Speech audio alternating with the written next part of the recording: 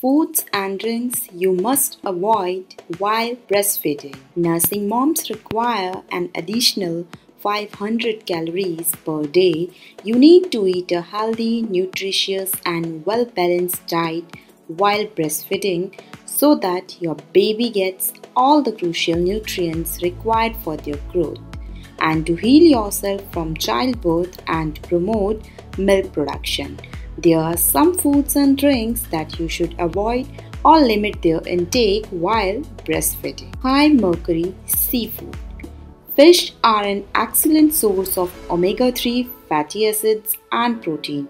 It's safe to consume fish or any other seafood that contains low levels of mercury, such as salmon, canned light tuna, tilapia, cod, shrimp, oysters, etc.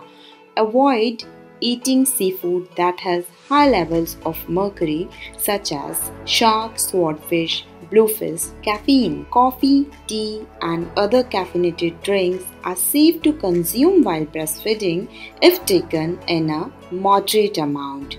An excess intake of caffeine can have a negative impact on both the nursing mom and her baby.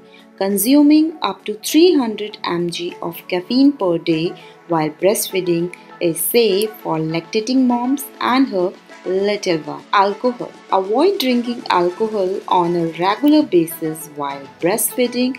Occasional drinking is okay for a lactating mom. Excess intake of alcohol can have an adverse impact on your health and it can also pose risk for your baby as certain herbs. Certain herbs such as peppermint, sage, parsley inhibit lactation, hence decreases the milk supply of nursing moms. You can use a little bit of these herbs to flavor your food. A moderate amount of these herbs doesn't cause any complications while breastfeeding. Processed foods. Processed foods are good to avoid while breastfeeding as they are packed with artificial flavors, preservatives, and chemicals.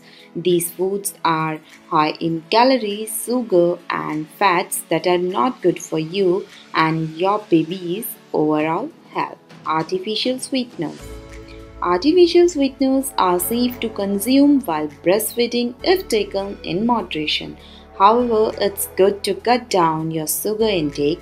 You can substitute artificial sweeteners with natural sweeteners such as coconut sugar or jaggery. Fatty meats. Fatty meats are high in saturated fats and salts. Foods with high saturated fats and salts can contribute to excess weight gain and can lead to several complications such as diabetes, high blood pressure, and stroke. Saturated fat can increase the level of LDL cholesterol in the blood and increases the risk of developing heart diseases.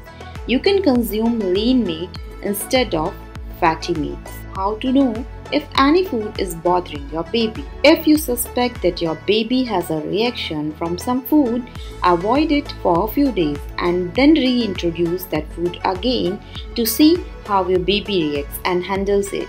If you see any of the following symptoms, it means your baby may be allergic to something eczema, excessive crying or fussing after a feed, excessive gas, excessive spitting, diarrhea, and rashes, congestion, trouble sleeping. If you suspect that your baby is having any trouble from something that you consume, then speak to your doctor about the same. To know more on this topic, click on the link given in the video's description. Hope this video helps you. Thank you very much for watching this video. To get all the valuable information about pregnancy care, post-pregnancy care, foods to eat during pregnancy, visit our website www.motherbabycare.in and also like our Facebook page.